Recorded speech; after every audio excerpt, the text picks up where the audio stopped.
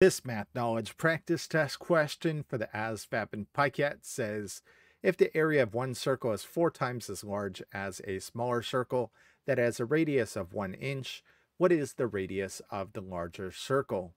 So it's pretty obvious that in this case, we're comparing the area of two circles. This will be our small, small circle, and this will be our bigger circle over here.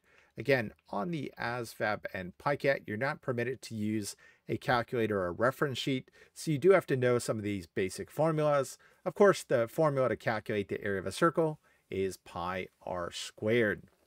All right, so let's start with the smaller circle. We know its radius is one inch, so its area is going to be pi times 1 squared.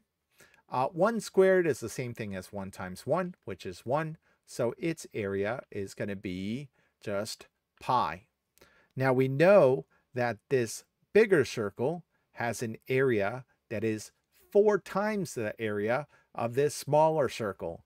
So if this smaller circle has an area of pi, uh, what is 4 times pi? That means the area of this bigger circle is going to be 4 pi and we want to know the radius of this bigger circle. So this becomes 4 pi equals pi r squared. We want to solve for r, the radius, so let's start by dividing both sides of the equation by pi. This crosses out. Uh, this crosses out here as well. This says 4 equals r squared. To get r, the radius by itself, we're just going to take the square root of both sides. This crosses out.